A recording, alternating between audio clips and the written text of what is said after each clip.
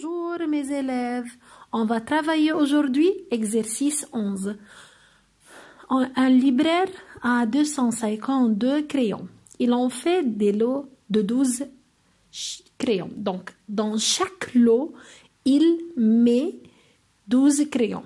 Donc, et il vend à 7250 livres libanaises le lot que vous voyez ici. Donc, chaque lot a 7250 livres libanaises. Maintenant, on commence par partie A.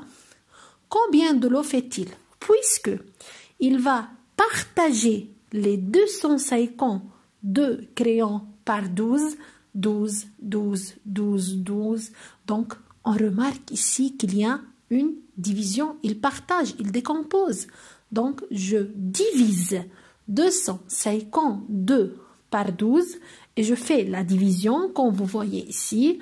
Vous remarquez que 252 divisé par 12 égale 21. La division était exacte, le reste est 0 et donc on remarque que il peut faire 21 lots. Toujours le quotient, c'est le nombre de lots qu'il qu'il a fait. Donc, il fait 21 lots. Maintenant, on passe à l'autre partie. Il va vendre ces 21 lots, puisque il vend le lot à 7250 livres libanaises.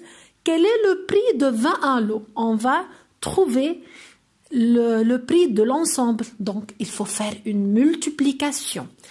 Je fais 21 fois 7250 livres libanaises comme vous voyez ici, mes élèves, la multiplication. Et je fais l'addition de deux réponses, réponses des unités et des dizaines. Ça fait combien donc? Il vend, il reçoit 152 250 livres libanais.